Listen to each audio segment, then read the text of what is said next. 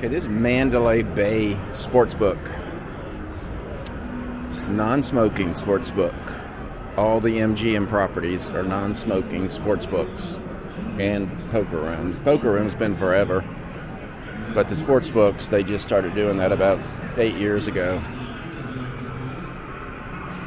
It's a nice sports book, but I mean these classroom chairs. That's just I don't know. That's just kind of weird.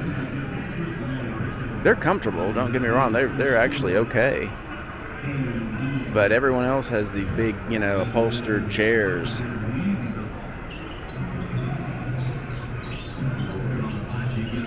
I actually haven't sat in those chairs. I have to sit in them and, you know, see if see if they're uh, comfortable. They actually look comfortable, but they don't look impressive. And you know, Vegas is all about show.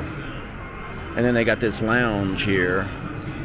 It gives you a lot of space in here if you want to pay for your drinks. But that's the poker room. Yeah, this is the poker room.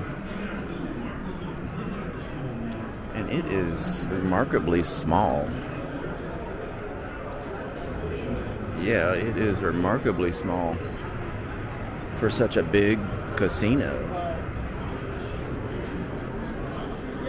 Uh, floor space, I can't remember what the floor space is in Mandalay Bay Casino, but it, I believe it's the second largest.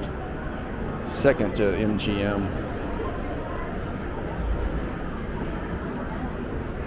One,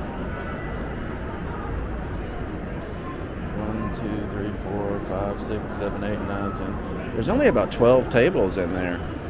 And they're not super big. They're they're normal size. There's some that are a lot bigger than that. But that's uh, yeah, that's that's strange that it's not over overly huge because they've got the space, you know. All right, that's all I got to say about that poker room.